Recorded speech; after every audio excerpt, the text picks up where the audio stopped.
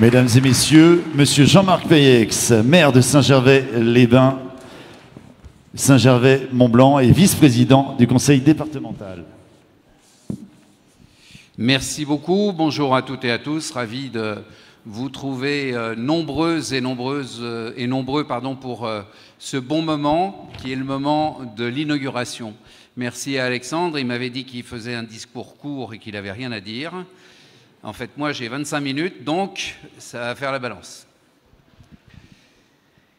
Monsieur le préfet, messieurs les sous-préfets, monsieur le député, messieurs les sénateurs, euh, messieurs les représentants du président de la région Auvergne-Rhône-Alpes, euh, nouvellement élu hier et à qui euh, vous voudrez bien transmettre nos félicitations. On est très heureux que ce soit un Savoyard qui soit à la tête de la région. C'est pas que Laurent Wauquiez, on n'aimait pas, mais on préfère quand même quand on a un Premier ministre et quand on a un président de région qui, sont, euh, connaissent nos montagnes et on peut les applaudir.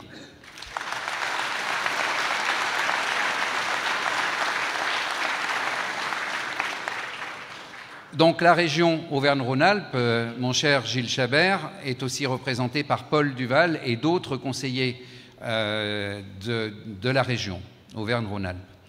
Euh, monsieur le Président du Conseil départemental, mon cher Marcel Sadier, Mesdames et Messieurs les conseillers régionaux et départementaux, Mesdames et Messieurs les maires, chers élus de la commune de Saint-Gervais et du pays du Mont-Blanc, Mesdames et Messieurs les architectes, les représentants des entreprises, chers amis faïrants, Saint-Gervelin, Saint-Nicolatin, résidents permanents ou secondaires ou simplement hôtes d'un jour.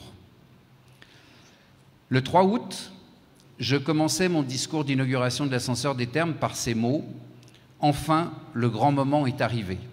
C'est pas moi qui l'ai écrit, c'était euh, au moment des Jeux Olympiques où euh, euh, le début, l'introduction était celle-ci. Ce 6 septembre, aucun autre mot, aucun, aucune autre phrase ne me vienne à l'esprit, tant ces deux moments sont forts, tant ces équipements sont complémentaires et révolutionnaires tant ces appareils montrent l'ingéniosité française et la capacité de notre pays à innover, et tant le travail en commun a été exemplaire et fructueux. Chacune et chacun de vous qui avez pris part à ces projets, quels qu'aient été vos rôles et vos fonctions, pouvez être très fiers de votre travail. En témoignage, un parchemin, comme on le faisait avant, comprenant le nom de toutes celles et de tous ceux qui ont fait le Valéen, va être scellé à la fin de la cérémonie protocolaire, pour l'éternité. Il fallait cependant y croire, même si peut-être trop souvent les promesses électorales des candidats en restent au stade de promesses. À Saint-Gervais, depuis 2001, notre équipe municipale a un code d'honneur. Promettre ce qu'on peut tenir et faire ce qu'on a promis. Nous y sommes arrivés aujourd'hui ensemble, comme nous l'avons fait, par exemple, avec la construction du, du pont alors attendu depuis 70 ans et presque inespéré, et avec bien d'autres réalisations. Merci à mes équipes municipales, merci au personnel de la commune pour accompagner chaque fois ces projets avec conviction et professionnalisme. Inventons l'avenir ensemble. C'était notre slogan électoral en 2001. Nous pouvons tous être fiers de l'avoir fait. Le Valéen en est aujourd'hui une illustration magnifique. La magie s'est opérée, et tout comme la construction du pont auquel pas grand monde croyait, le Valéen s'est réalisé. Ce transport urbain, intelligent, décarboné, adapté tant aux besoins de la population permanente qu'à ceux des habitants du pays du Mont-Blanc, de la Haute-Savoie, de nos voisins et amis suisses, qu'à ceux des touristes. Les Français ont en ce moment la tête dans les nuages avec les Jeux olympiques et paralympiques de Paris 2024, montrant qu'au-delà du bruit insupportable fait par quelques minorités aigries, la majorité des Français adorent l'exploit, le travail collectif. La pluie de médailles, les performances de nos magnifiques sportives et sportifs en sont la récompense et un modèle qu'il nous faut suivre.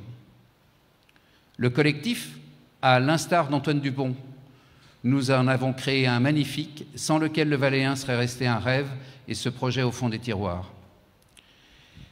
Si la recette est éprouvée à Saint-Gervais, je souhaite que chacune et chacun de vous la connaisse enfin. J'entends trop ici et là la phrase agacée, et agaçante, parfois empreinte de jalousie. Mais comment peut-il faire pour faire tout ça et aussi vite? En fait, il n'y a aucune magie, simplement de la conviction, une capacité à convaincre, un grand soupçon d'exigence, la pugnacité d'un taureau et la puissante envie de voir et de toucher les projets qu'on imagine, presque comme peut le vouloir un enfant. Comme au rugby, il faut un capitaine. C'est ce rôle que j'ai assumé totalement, malgré les coups, jusqu'au coup bas, les menaces, malgré la désinformation orchestrée, malgré les moments de doute et les difficultés imprévues qu'un chef se doit de cacher à ses équipes pour assumer. La préparation, c'est comme l'entraînement d'un collectif de rugby. Il faut avoir un objectif clair autour duquel on réunit tous les acteurs potentiels. En premier lieu, les services de l'État autour du préfet et du sous-préfet, en particulier la direction départementale de l'équipement, celle de l'environnement, l'architecte des bâtiments de France, les services juridiques des ministères et bien évidemment nos partenaires du quotidien, les propriétaires fonciers, comme la famille du Fouque-Favre. Aussi, les décideurs départementaux et régionaux, avec toutes leurs équipes, et le professionnel du casting, notre, délégataire, la STBMA, avec Alexandre Merlin et ses équipes. Cette étape s'étant parfaitement déroulée, les professionnels, munis d'une feuille de route claire, d'un planning, rigide et d'une pression énorme, se sont mis au travail pour développer des technologies nouvelles afin que l'infrastructure crée le moins possible de nuisances. C'est ainsi qu'ont été prises en compte les remarques des riverains, par exemple au travers de la suppression de cinq, pylônes pour que le Valéen soit le plus discret et silencieux possible. Spécialiste et un des leaders principaux de la construction des remontées mécaniques, l'entreprise Poma, concepteur et réalisateur de ce magique et magnifique Valéen, pas seul, mais entouré de la compétence et de l'expérience de toutes les entreprises qui ont participé au projet, a su introduire toutes les innovations pour en faire la plus belle télécabine du monde. Eh bien, ont, ils ont réussi, car c'est vraiment la plus belle télécabine du monde.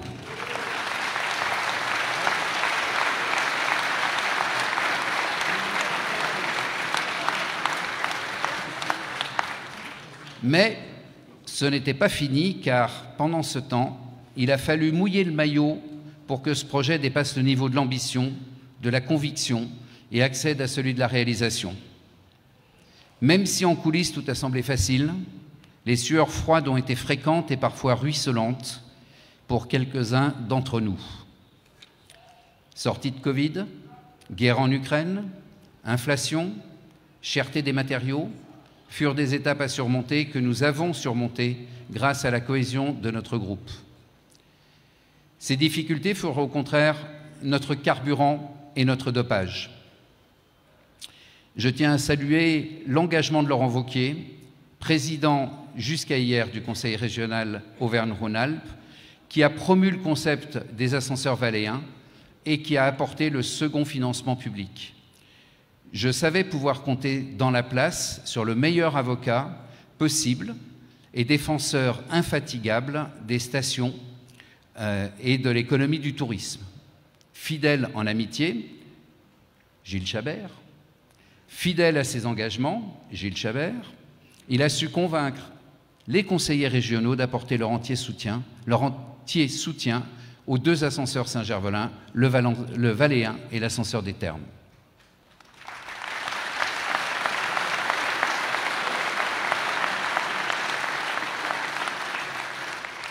Mais rien n'aurait pu se faire sans l'appui et le soutien indéflectible de Martial Sadier, président du conseil départemental, et tous les élus du conseil départemental qui ont apporté leur soutien et le principal financement public. Parce que quand la note s'est élevée, il a bien fallu, il a bien fallu trouver les solutions, et c'est grâce au département de la Haute-Savoie, à son président et à l'ensemble des élus que la solution financière a pu être trouvée, parce que la douche était froide de la différence entre le prix de départ et le prix d'arrivée.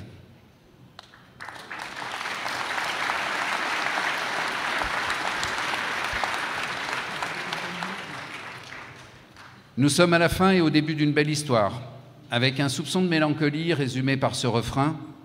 Voilà, c'est fini. Ne sois jamais amer, reste toujours sincère, t'as eu ce que t'as voulu. Je compléterai les mots de Jean-Louis Aubert par euh, ce que nous, nous vous avons promis. Avoir une parole et la respecter, c'était notre slogan électoral en 2020. Nous l'avons fait. Pour la vérité historique, il est important de noter que le projet d'un ascenseur valéen était également au programme de la liste de la minorité municipale, c'est-à-dire de 100% des candidats à l'élection municipale de 2020.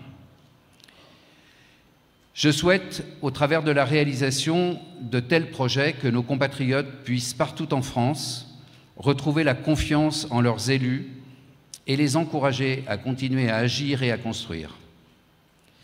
Merci à toutes et à tous pour votre soutien, que ce nouvel élément de vie vous et nous permettre d'encore mieux vivre à Saint-Gervais, à Saint-Nicolas-de-Véros et au Fayet.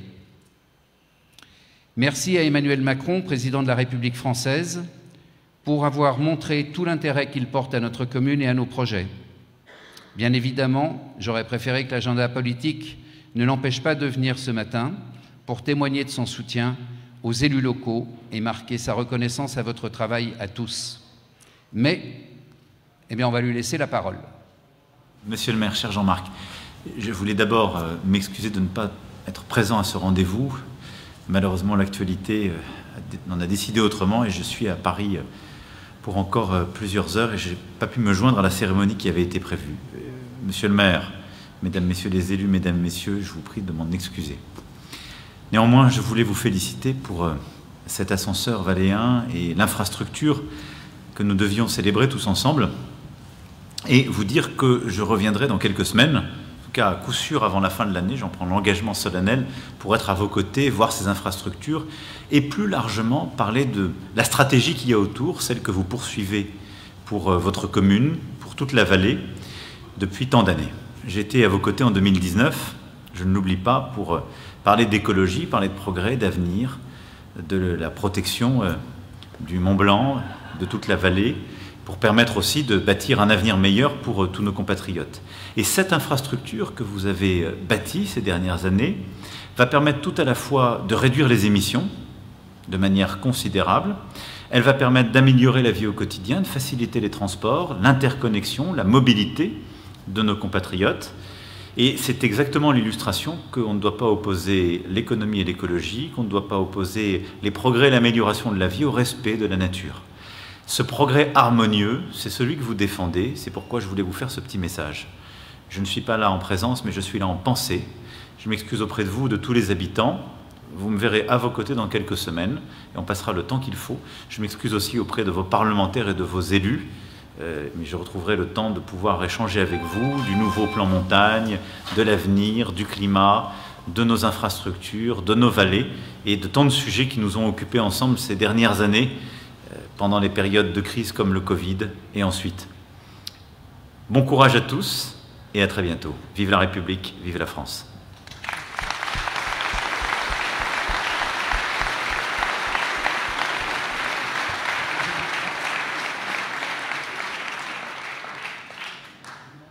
Le prochain rendez-vous important sera mi-décembre avec la mise en service de l'Alpin, le second tronçon de la télécabine qui fera le lien avec le bétail, notre principal domaine skiable. Mais auparavant, que vive le Valéen, vive Saint-Gervais, vive la Haute-Savoie, vive la région Auvergne-Rhône-Alpes et vive la France.